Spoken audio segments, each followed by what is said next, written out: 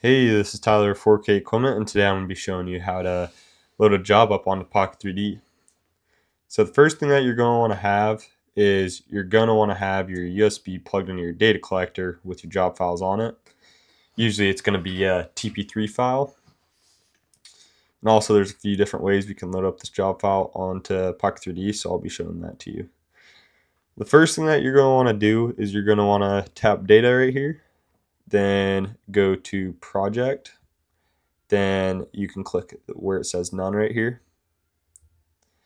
Then as you see there's no project files or anything under there. So we're gonna tap copy right here.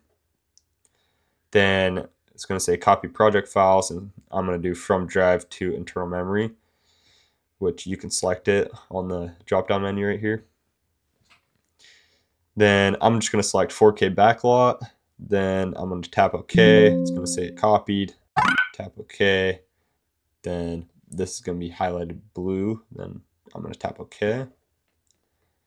Then I'm going to have this be my current project. I'm going to tap yes. Now my job is loaded up here. Um, you can see the control points. You can see all the line work. Then I don't see the surface right now, so I'm just going to click data, surface. Then I'm going to tap none right here select my surface, tap OK. It's going to ask if I want to use this as my current design surface. I'm going to tap OK.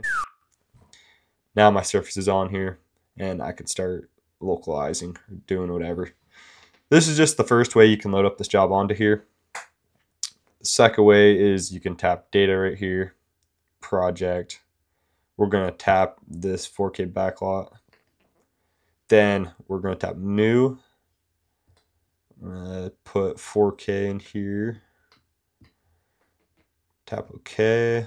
It's going to be my name for my project file. Just name it to whatever your job is called.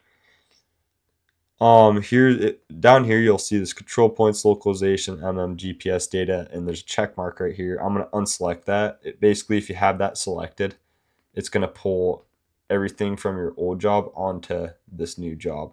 So it'd only be handy if you're you wanted to make like a copy or something. Um, I usually you want to unselect it just so it doesn't pull everything from your other job on to your new one. So you can just tap OK, tap OK. It's gonna ask if I want this to be my current. Tap yes. Now I'm gonna hit data, project, import export from TP3 file. I'm just going to scroll down a little bit, tap USB drive. And as you can see, you can see the TP3 file on here. I'm going to select it, tap open. Then I want to import the entire project. So I'm going to click yes. You can click no if you want to select individual items from your job, but we're going to click yes. It's going to say control points, points, polyline surfaces. This all looks great. I'm going to tap finish